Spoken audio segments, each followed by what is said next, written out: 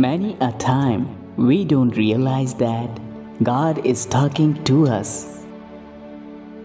But if you will be sensitive to what your inner ear is hearing, you will realize and hear that still the voice of God is speaking within you.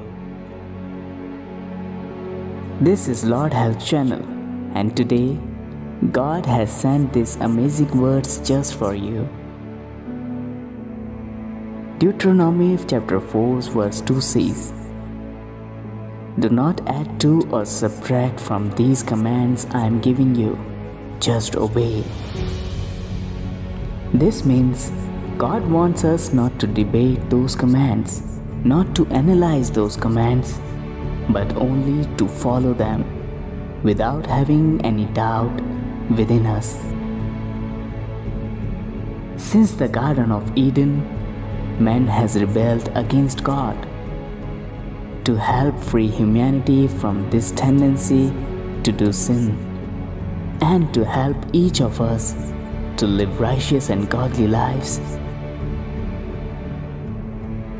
God handed down His commandments as a code of moral laws and regulations for us to live by.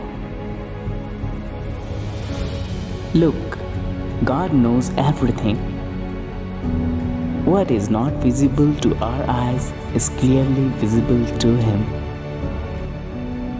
And God is looking for the people that He can count on. He never forces you to do what He has said, He only suggests. He takes test of our will, and as more as we become faithful to Him, he starts trusting us more and more. So, if you obey the voice of God that is speaking to you and within you, you will become His mode of brightening people's day. Stop talking about it and start obeying His commandments. Because as soon as you will start obeying His words, blessings will always follow you. God bless you all. Amen.